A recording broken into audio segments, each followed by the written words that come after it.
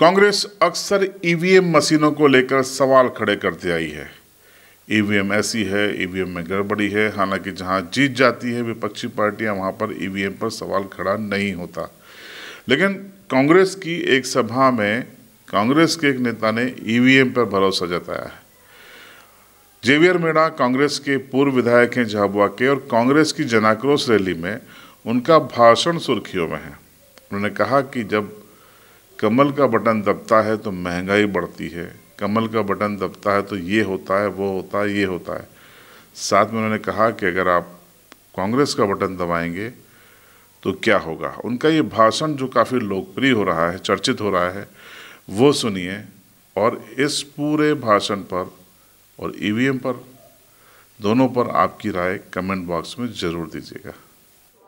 साथियों ये वही कमल का फूल है जिसका बटन दबाने से ड्राइविंग लाइसेंस ढाई सौ रुपये में बनता था, वो पाँच हज़ार पाँच सौ में बन रहा है।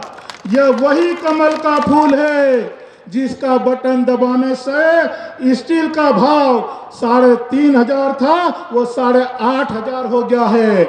यह वही कमल का फूल है जिसका बटन दबाने से सिलेंडर का भाव साढ़े चार सौ से साढ़े ग्यारह सौ हो गया है।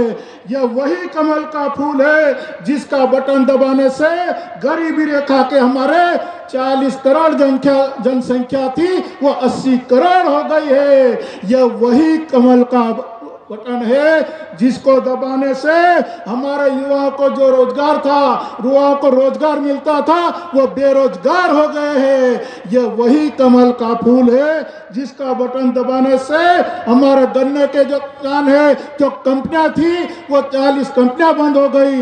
ये वही कमल का फूल है साथियों, इसका बटन दबाने से आप और हम सबका रोज़गार छीना गया, हमारा राशन छीना गया।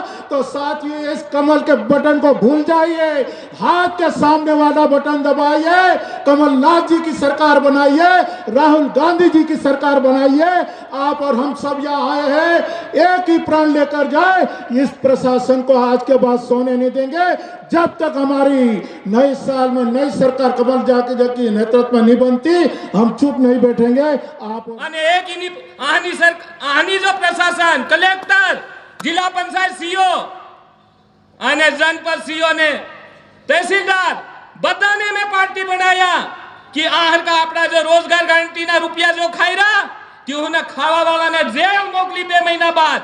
મેં કોર્ટમાં લગાડ્યો, હું હું દાવા કહું કે હું તમા, હમણાં કોંગ્રેસ પાર્ટી તમારી હાથે છે, વિક્રાંત ભુરિયા બી તમારી હાથે છે, ભુરિયાજી બી તમારી હાથે છે, એની લડાઈમાં હાથ આલી રહ્યા છે અને ફેરી હું કહેવા માંગુ આપણા પૂરા ઝાપા જિલ્લાના પંચને કે તમારા, તમુ જો પંચ બન્યા, તમુને જો તમારું માનદેય નહીં મળી રહ્યું इन्हीं भी लड़ाई। कांग्रेस पार्टी लड़े ने जन आंदोलन करे और आज क्यों ज्ञापन भी तुम्हारा नाम यहाँ ले कि हमारा इना पंच जो जीती ने आया उन्हें मानदे नहीं मिले हो यून मानदे मलबूज होवे। नहीं मिले तो यह पंच, बताता इन पूरा जिला ना, इना कलेक्टर ना घेरा फेरती करे।